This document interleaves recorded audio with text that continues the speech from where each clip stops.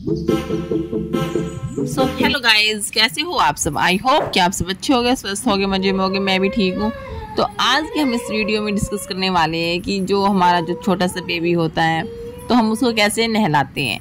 तो सबसे पहले हमें यहाँ पे अपना जो इंग्रेडिएंट जो हमें इस्तेमाल करने हैं, बाल्टी, पानी, मग टावल तो हम उसको सबसे पहले एक साथ में लेके बैठेंगे। और यहाँ पे हमें पानी ऐसा यूज़ करना है, ना तो ज़्यादा गर्म हो, ना ज़्यादा ठंडा मतलब गुनगुना पानी के साथ ही बच्चे को यहाँ पे नहलाना होता है।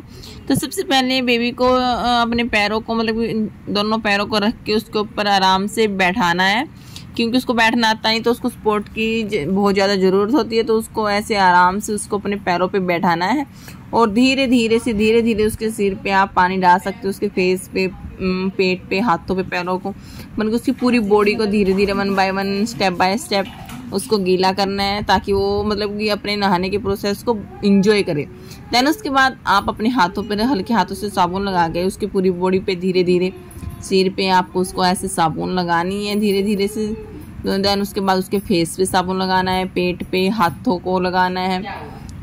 उंगलियों पे भी मतलब लगाना मत भूलिएगा साथ में ही उसके बाद पैरों की बारी आती है और छोटे छोटे नन्हे नन्हे पैरों को और टांगों को ज़रूर साबुन लगानी है। हाँ तो यहाँ पे एक बात का ज़रूर ध्यान रखना है कि साबुन लगाने के तुरंत बाद बेबी का जो शरीर है वो थोड़ा सा चिकना हो जाता है कहीं पर फिसल जाता है। तो इस बात का बहुत अच्छे से ध्यान रखना है तो, तो उसको थोड़ा सा मतलब अच्छे से थोड़ा सा अपने टाइट हाथ को टाइट करके थोड़ा सा पकड़ लेना है। बेबी को टाइट नहीं करना है, लेकिन अपने हाथ को थोड़ा टाइट ही रखना है।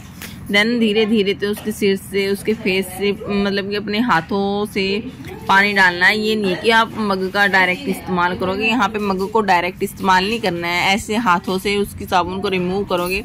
उसके बाद आप मग से पानी डाल सकते हो, कोई प्रॉब्लम नहीं है। ताकि बेबी को भी मतलब इंजॉय लगता रहे। साथ में हाँ मेरी मम्मा नहला रही है। लेकिन बेबी को अगर हम मतलब सिंगिंग करके नहलाया गया, उसके साथ बातें करके नहलाया गया तो बेबी अपने नहाने के जो प्रोसेस को है ना, बहुत अच्छे से, बहुत ज़्यादा इंजॉय करता है।